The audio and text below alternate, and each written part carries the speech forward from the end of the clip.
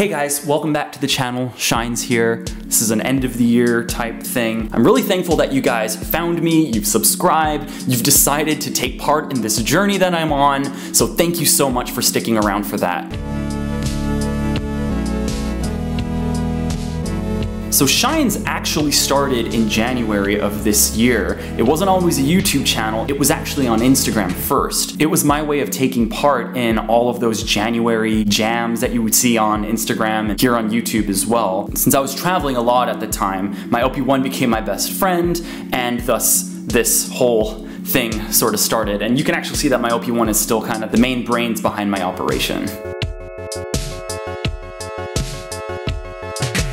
I really can't wait till January rolls around again because first of all, it'll be 2021 and you know, good riddance 2020, but also it'll give me a chance to just strip everything down and concentrate on just one of my instruments. Couple things that I'm planning for the future. One, I have an album coming out. I've been working on it since September. I've laid down all the tracks that I'm gonna lay down. I've done pretty much all of my vocals, but there's a lot of mixing and sound effects and other types of things that I want to add to get more of a fuller soundscape going. I also want to do more live stream stuff. I played my first live show about two weeks ago, and I would like more live, real-time engagement with my audiences. So I really want to do more on things like Twitch, uh, YouTube Live, Instagram Live. We'll see how that goes. As far as the future of the channel goes, I feel like I have more to say in the educational realm. So showing you guys how I set up all of my instruments, how they all get synchronized, how I build a synthesizer setup. I would love to showcase more of that stuff in the future.